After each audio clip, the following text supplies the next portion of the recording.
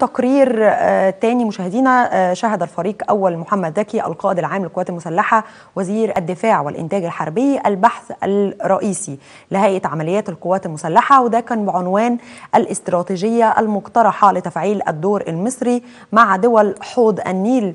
في ظل المتغيرات الإقليمية والدولية.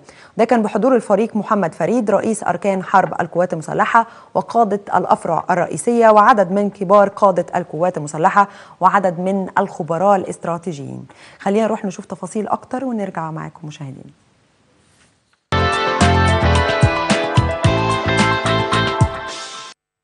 شهد الفريق أول محمد زكي القائد العام للقوات المسلحة وزير الدفاع والإنتاج الحربي. البحث الرئيسي لهيئة عمليات القوات المسلحة بعنوان الاستراتيجية المقترحة لتفعيل الدور المصري مع دول حوض النيل في ظل المتغيرات الإقليمية والدولية.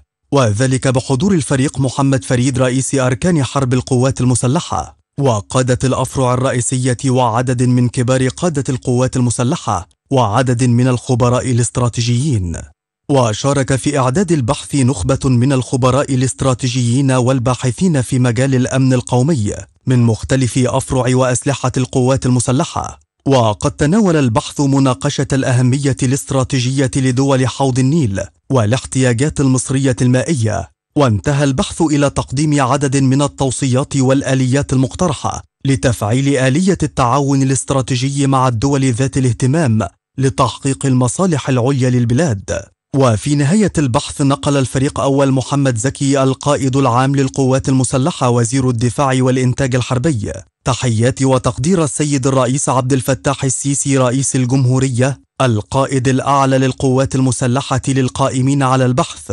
مؤكدا على أهمية الفكر المتجدد واتباع الأسلوب العلمي في التخطيط والتدريب ومعالجة المشكلات.